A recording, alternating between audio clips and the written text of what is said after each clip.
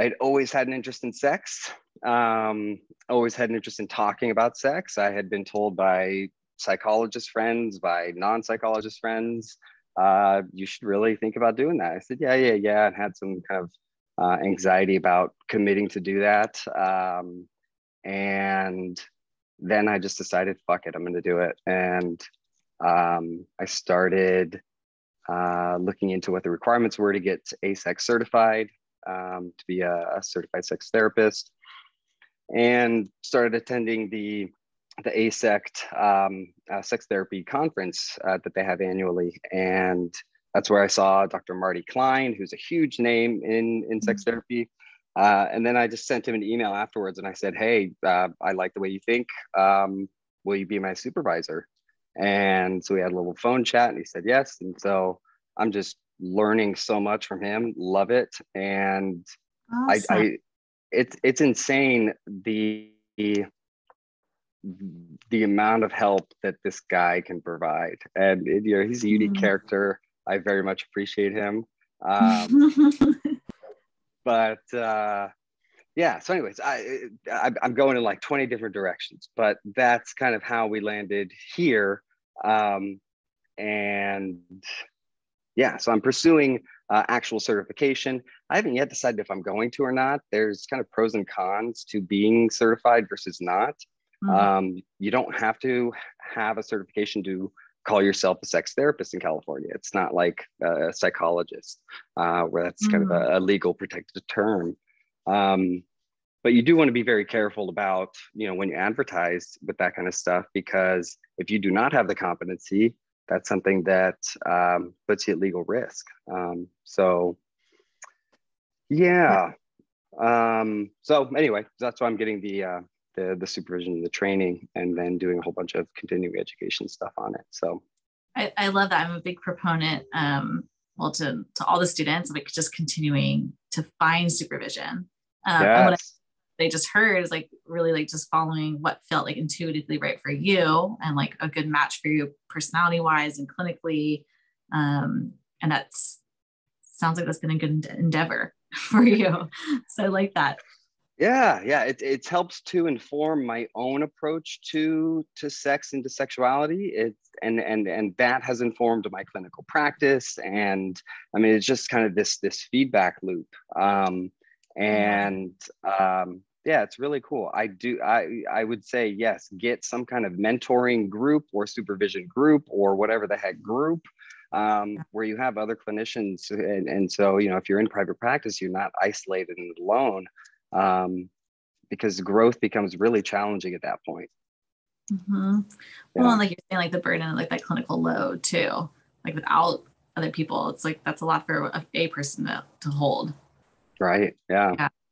Yeah. Well, very cool. Well, kind of that's a great segue into my first question is like tell me a little bit about like who you typically see like in your practice and like what people are are coming to you with yeah, excuse me. Um, I know that's very broad, so you know whatever feels you know relevant for you. I will. Tr- I'll try to like hone this in a little bit. Um, so I work with adults. We'll start there. Um, so 18, 18 plus, but but really most of my patients are kind of mid 20s to mid 40s. Um, and um, only individually. I don't work with uh, with couples, and that's that's a decision I made for a couple different reasons, but um, maybe something I, I, I, choose to change in the future. Um, but uh, so right now, just individuals um, and uh, you know, kind of what they they call me about for the most part, eh, you know, are going to be things like um, uh, performance anxieties. So they're having difficulty uh, getting or maintaining an erection um, having an orgasm within the time frame that they think that they should, um, and or, or or at all. Um, uh, desire discrepancies within partnerships where one person mm-hmm. wants sex more often than uh, the other person. Um, uh, relationship conflicts, difficulty, um, kind of uh, effectively communicating needs and wants and desires and fantasies wishes, um, and and and and difficult emotions with their partner and, and processing that. Um, and people who think that they have um, a or who, who, have been told uh, that they have a sex addiction uh, or a porn addiction. A lot of people who use porn instead of uh, seeking out sex with their partner. Um, you know, people who are interested in in exploring kinks and BDSM and um, and alternative relationship structures. Um, so whether that's kind of purely heterosexual swinging to whatever extent, or or polyamory, or um, uh, non-monogamy of, uh, of various iterations, uh, or kind of anything in between, um, helping them to navigate those those discussions, uh, as well as the the thoughts and the feelings that come up um, uh, in those dynamics um, and and I guess really just um, helping people to to understand the narratives that they bring into their lives that relate to sex, that relate to sexuality, that relate to partnerships, that they mm-hmm. assume that their partner might have about uh, about them, um, and helping them to take a look at what those narratives are and to see, okay, does that are those things actually in fact true? Uh, is there a different way to see it? Um, and and then helping them to, to kind of be more aligned with their values if they're doing things that are not uh, aligned with them currently. So because of my training in, in substance use too, that's something that a lot of people do a lot of mixing with sex and drugs uh, or alcohol, you know, uh, mm-hmm. you know, anything, cannabis. Um, and there can be huge very pleasurable benefits to that. And we need to make sure that we're doing it safely, uh, that we're doing it consciously. Um, and um, and so um, yeah, so I help people kind of navigate how to do that in a safe way. Um, and uh, so they need to know their dosing they need to know how their body reacts to certain things they need to you know trust the person that they're going to be with they need to have kind of safety and backup plans if they're going to be using any kind of um, uh, the substance that's illegal so cocaine or ecstasy or mdma or uh, you know some kind of uh, pill. Um, i have them test their substances before they before they use them um, fentanyl mm. strips are easy to get in naloxone. You can get over the counter at a pharmacy. Um, you get GoodRx, the, uh, the little uh, prescription app, and for like 20 bucks or something, um, you get two doses of naloxone that could save somebody's life uh, or yours. So, um, you know, yeah, so helping people to yeah. do that in, in, in, a safe and, and conscious way. And then one thing that we were talking about just before we started recording, I think that, that I do want to mention is that the people that I work with, um, I, I, I, focus on those who are engaging in consensual sexual behaviors.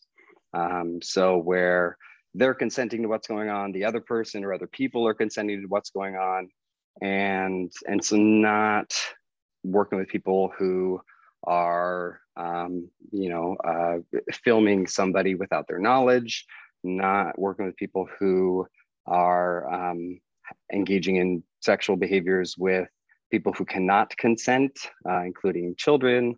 Um, you know there's this dialogue around um, you know certain uh, mental uh, disabilities and can they consent and how do we get that kind of consent and that's kind of beyond my ability to, to answer but um, uh, mm-hmm. and then and certainly uh, uh, zoophilia um, sex with animals can't get human consent there so not something that i work with although i am taking the ce course i think next month on that so i do want to understand uh, a little bit better but um, yeah yeah, long-winded answer. That's just what you're going to get. No, today. it's it's great, great. And I, you know, I wrote down like, well, just as you're talking, just different things that I want to touch on, it, and there's a lot there. I guess one thing, just going back to like where you, the very beginning, what you started with people coming in, you said like people have been told that they have a sex addiction or a porn addiction. I guess as like as a clinician or just like working with people, like what is, how do you move like kind of the language of the narrative from viewing something as like that a sexual addiction to understanding it like a non-pathologizing way, a way that feels like more workable.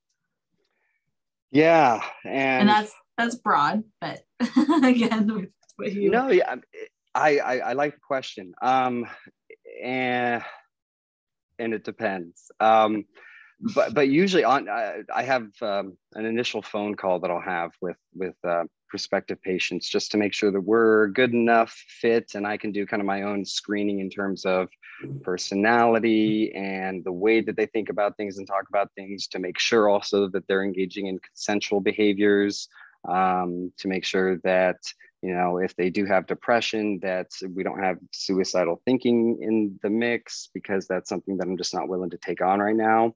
Um, and um, so so in in that um, consultation some people will say you know I, I have a sex addiction i'm a porn addict i'm you know whatever that is. So i will tell them in that first session you know i, I obviously don't know you but um, you know i i may not agree with you once i learn more uh, that you in fact have a sex or porn addiction.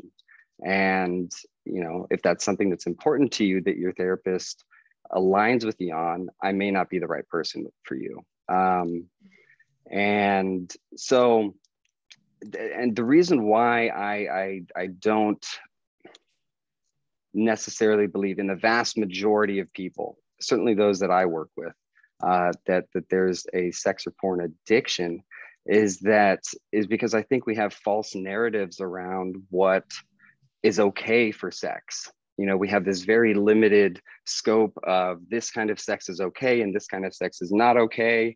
And if anything deviates from these little boundaries, then you have a problem. Or if your partner doesn't like what you're doing, right? Your partner uh, feels insecure uh, that you're looking at porn um, or is frustrated with the fact that you would prefer to look at porn rather than having sex with them, um, we get labeled as a sex addict or a porn addict. And the porn, the sex, that's a problem, but it's a symptom of, an, of a bigger problem. Um, and so that's really what I focus on is not just changing the behavior itself. Okay, don't look at porn. Porn's bad because I don't believe that at all. I think porn can be lovely and enhances many people's sex lives, but um, um, but to really understand why we're using porn, why we're using sex, right? Why are we pursuing these things? Is it because I have difficulty controlling impulses and urges?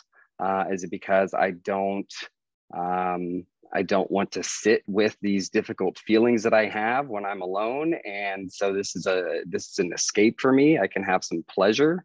Um, is it fueled by an underlying mental health disorder? Am I in a manic or hypomanic phase of a bipolar disorder? And I am physiologically uh, uh, less able to control my behaviors. And so then we treat those things. Is it kind of a silent indirect fuck you to the to the other partner in the relationship of i'm unhappy about something i'm not going to tell you really what it is but i'm going to do something that i know you don't like. And so there we have a communication issue um, as opposed to a sex or porn issue. Um, and yeah i mean there's just so many so many other kinds of examples i could go through but um, but you're speaking uh, you're speaking my language right? It's like finding the function of the behavior. Yes like, that's the that's the underbelly right that's where you do the work yes. Um, yeah. yeah we we have these these terminologies for for things oh it's it's this it's that it's the other. Um, but okay we don't treat the disorder we're treating a human being and we need to understand what the function of the behavior is in order to treat it. Otherwise it's a game of whack-a-mole you know? So everything that just oh the symptom symptom symptom behavior no ah and then instead of just unplugging the machine you know or eh, like re, like going in and like figuring out the gears and stuff. It's like right. it's, it's just symptom management which i think in our society is, is we have a lot of you know? Oh yeah. shit I, I i'm feeling uncomfortable. Where's my pill? Um so yeah. Yeah. Well, um, part of what you just said kind of answers some of my other questions around like, you know, what people are coming in for what are some like the myths or the narratives that are coming in there? So like i have an addiction or here's like like you know feeling shameful about a behavior. Um and that was something that i was going to ask about too is like the kind of role that you see shame has on people or like the hold it has especially around sexuality and life lifestyle um, practices and preferences. Yeah shame is huge um, in especially uh, in in sex therapy. I mean, it is in mental health in general, I think, but um, um, but it is very big when we feel like we are a sexual outsider, um, and um, and and and and when we come in with these narratives that like if I am male and um, uh, identify as a man and uh, I'm having sex with uh, female identifying as a woman, um, that I need to um, not only get an erection, I need to uh, to maintain this erection. I need to fuck the right way. I need to be this dominant, you know, guy that we see uh, in, in, in, the media and that we're told that we should be. And then I need to be able to uh, ejaculate and not only ejaculate an orgasm, but like a lot. Uh, you know, like that's the definition that like as as men that we get told like that's manly and and and so like what that does though is that sex becomes a performance. It's it's not it it takes away a lot of the fun. It takes away a lot of the curiosity, the playfulness, the humor, the um, uh, the vulnerability, um, mm-hmm. and it really limits the, um, uh, the the pleasure that we can derive from it. Um, and, and similarly for, for, for women, you know, if they're concentrated on um, how do I look, how do I smell, how do I taste, uh, you know, am I lubricated enough? Uh, does he like this? Do, you know, mm-hmm. do I look flattering from this angle? And by the way, men think about that too. Um, and and and so then we're, we're we're so not in the moment and we're not in our bodies we're all up in our heads about all these expectations so while we seek pleasure and closeness in our sex if we were to ask people what are you what are you looking for in sex you know pleasure and closeness essentially is kind of what we we want but what we focus on in sex oftentimes are, are these behaviors these these um, um, these performance anxieties, you know? Um, and so if we say we want something uh, from sex, and yet when we're having sex, we're thinking about something completely different, like no wonder we're going to have unsatisfying sex. Hmm. Mm-hmm.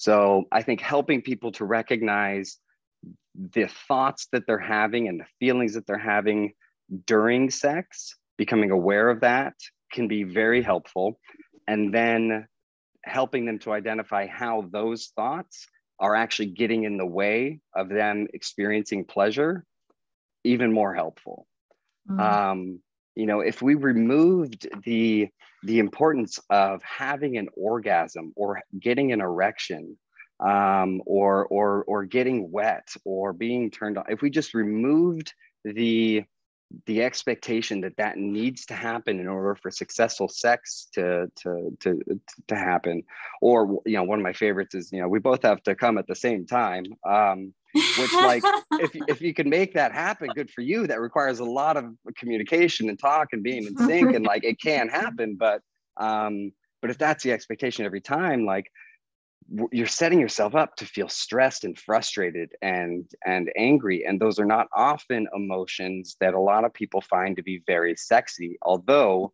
they can be. Um mm-hmm. and so it's it's, uh, into it well I, I if, if there's any plug that i'm going to make um, it's going to be for for the erotic mind. This book is it, it, this was kind of my segue into into um, sex therapy and what really kind of ignited my passion around it. Um, so i would highly recommend it. It's a completely new take on on sexuality.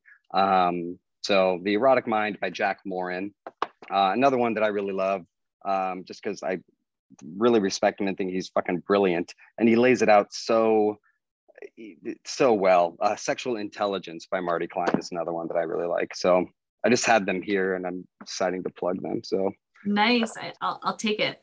Um, our students are doing bibliotherapies as their next um, activities. I was, I was going to look up to see if anyone has those books, but that's probably too many steps right now. but like. Um, so many other. I mean, there's just like I mean, just there's a new one. Um, one of our local therapists, um, or a, a combo local therapists, uh, two of them, Jennifer and Julia, Women in Kink. Um, and there's Polysecure. There's just there's a lot of stuff out there. Doug Braun Harvey, uh, who uh, started the uh, OCSB, Out of Control Sexual Behavior Group. Um, I love Doug Braun Harvey. I don't quite know yet what I think of the out of control uh, concept. Um, mm. But anyway, that's beside the point. So, yeah. well, great plugs, and um, I hope I hope some of those. I think some of those books that you mentioned um, we're going to be hearing about. So that's that's awesome. That's a great al- alignment.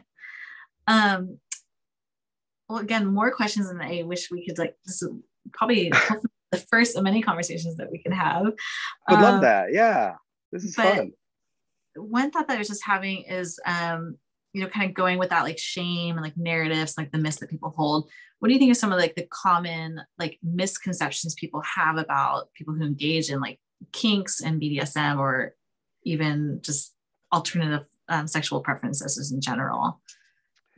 Yeah. So, it, number one, that they're sick or that there's something wrong with them, um, that they need to feel ashamed about it and that they need to go to a therapist to fix it. Um, my job is not to fix their stuff. My job is to help them understand that there is no one normal and you're allowed to have your own preferences again with consent being at the forefront of all of this um, and and and and to to help them to accept themselves and to embrace their own sexuality and their own kinks to not be ashamed of it um, you know, like if I love the smell of somebody's armpit and I just want to fucking go in there and my partner's like, all right, hey, have at it. Like, okay, like who cares? Go for it, you know, sniff away. um, if I if I like to be tied up and uh, and if I like to be left in a room for hours, knowing that I have a way to be able to communicate if I'm needing to get out of those restraints um, you know if i'm in a master slave relationship uh, potentially um, then okay like if that brings you pleasure and joy and gratification like let's pursue that. That's something that i think we we don't often talk about enough is is pursuing pleasure which doug braun harvey to his credit does. Um, and mm-hmm. and so i think that that's it, it, it's huge. And so we focus on these like oh this is bad this is shameful and i'm wrong and i need to fix it. But I really help people to deconstruct these myths that, you know, uh, if you like something that's different from what you see on TV or what your friends are telling you that they do or that they like or uh, whatever, that, um, that there's something wrong with you. Like, I, yeah, I just, I don't buy it. I don't believe it. Um, and, and again, I will preface all of that with the fact that the people that I work with do engage in consensual behaviors um, where they talk about these things before they engage in sexual acts, right? So, uh, sex can be, uh, for those who, who, don't have experience talking about it, sex could be very um, uh, uncomfortable to talk about. And um, shit, I just got like a text message and I'm like now distracted. Um, losing my train of thought. Ah. Oh man. Um, Talking where was sex. I? Is um is the text message regard to having to take a break? No, no, no. I'll something different. happens. Yeah. Okay. okay. Um, Just another random text message that throws us off. uh, yeah. Sorry, guys. Um, okay. but shame, shame, shame. No, what's interesting about just what happened um, is what I was thinking about is like the um, you know, in DBT, we talk about mindfulness and being, you know, consciously aware of our behaviors and self-soothing and finding joy and finding, you know, accumulating positives. Um, and I think a lot of the feedback I get from people too is like it can seem like really rudimentary. Like, oh, get a massage, you know, like get have nice food or take a walk. It's like, well, what about talking about like sex? Like here's like this again, like we have a huge this is such an opportunity for people to explore and to work with their own shame and like working like body acceptance. We talk about body, body positivity and sex, sex positives. Like, well, first we have to like be with ourselves, know that, and work on like how do we can we be with that compassionately, right? Yes, and so and that's one of the hardest things, right? Is is to be able to observe ourselves without immediately jumping to judgment. Mm-hmm um, and and so uh, the book the erotic mind um, has uh, it, you know the, the kind of an erotic uh, journal uh, that they uh, that the author kind of suggested people to do um, where you just start exploring your own kind of uh, fantasies and, and thoughts and uh, and feelings and memories and experiences and um, and and then being curious about it, adopting a curious attitude as opposed to one that's of judgment. Um, mm-hmm. and mm-hmm. so if we if we can do that, if we can be mindful, um, then we're able to drop from our heads during sex back into our bodies and be able to have pleasurable, playful, creative, fun, uh, rewarding, fulfilling sex that is fucking mind blowing um, whereas otherwise, it, it, it can feel robotic and, and, um, um, and, and performance based. Um, and that, that tends to zap a lot of the things that make sex sexy and fun and alluring for a lot of people.